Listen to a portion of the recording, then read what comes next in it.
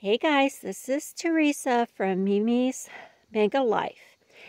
I am donating some things to a church that is working together with Samaritan's Purse to take a big truck to people that have no water, no electricity, not much of anything right now to even eat and that were affected by the flooding from the hurricane.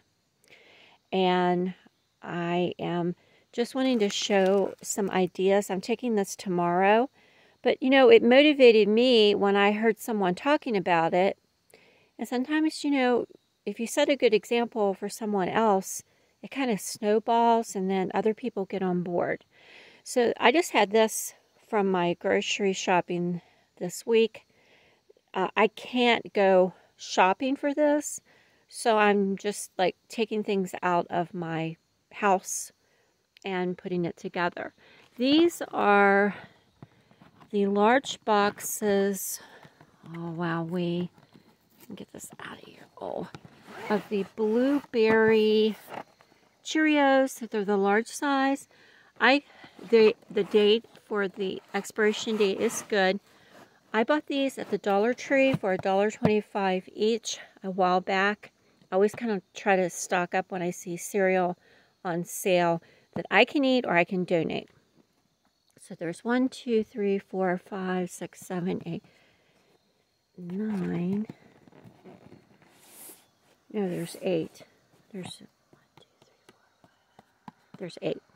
Okay, and then, and this is my little, I have toilet tissue, but I'm just going to send one uh, of mine from my house. And then I had hit that really super awesome deal from Dollar General when these were ringing up like 35, 36 cents a piece. So I bought 30 of them. I gave some away. I donated some and I'm donating the rest. I have some mints from the Dollar Tree. I have Mrs. Meyer's when these are normally $5 at the Dollar Tree, but they were ringing up a dollar twenty-five. So I bought a bunch of them. There's like, oh, I think there's four of that. My favorite glass cleaner is Scrub Free. It's a new bottle of that, and that's the 20% bonus. I don't even know where I bought that. But I had some Pond's face cream and my in my cabinet. I had a big bottle of shampoo I just bought of White Rain. I had new of the garlic from Kingsford, I guess. And I have some nuts in here. And I have some soap. I broke up a thing of soap, but I wrote soap on it so they would know it was soap. So, yeah, so uh, I guess what they're what I'm hearing is these folks don't really have um, they don't have a road, they don't have a bridge, they don't have a way, they don't have any gasoline for their vehicles. Um, they are in a pickle. So that is, uh, you know, be helpful and being kind to people that, you know, you don't ever always want to be on the other end of this where you're the one doing the giving and the donating.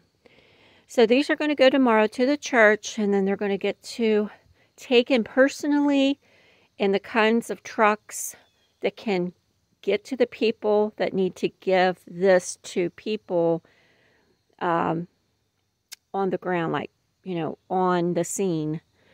So anyway, I just wanted to encourage you, you know, try to donate. Everybody can probably donate something. Alrighty. I'll talk to you later, guys. Love you. Bye.